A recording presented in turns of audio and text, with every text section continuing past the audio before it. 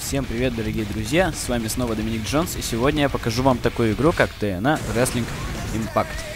Итак, о составляющих игры. Графика 4 балла, все довольно четко, все хорошо прорисовано, но бывают некоторые баги, которые портят всю картину. Хотя если учесть, что игра весит всего 50 мегабайт, то это простительно. Звук 4 балла, звук в игре хороший, все присутствует. Звуки ударов, звуки падения тела и все остальное. Единственное, чего не хватает, это комментатора. Поэтому, собственно, и 4 балла. Геймплей всего лишь 3 балла, потому как мало динамичности. Это, можно сказать, единственный, зато большой минус. Теперь подробней. В игре есть довольно хороший редактор персонажа, который позволит вам создать неповторимого бойца. Также есть ачивменты, куда ж теперь без них. В начале карьеры вам предстоит выбрать персонажа или создать своего, и начать свой путь великого рестлера. В быстрой же игре вам просто нужно выбрать тип боя и бойца. Конечно, можно и здесь создать своего. Всего в игре 24 персонажа и, конечно же, обилие типов боя. Ну как сказать обилие? Их 6.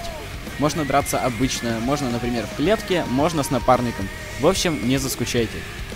И, наконец, управление. Ему я даю 5 баллов. Все просто и понятно. Захваты делать легко, не надо комбинировать множество кнопок. В итоге получился очень хороший, конечно не идеальный, но все же очень хороший файтинг. Таких на Android не так уж много. 16 баллов из 20.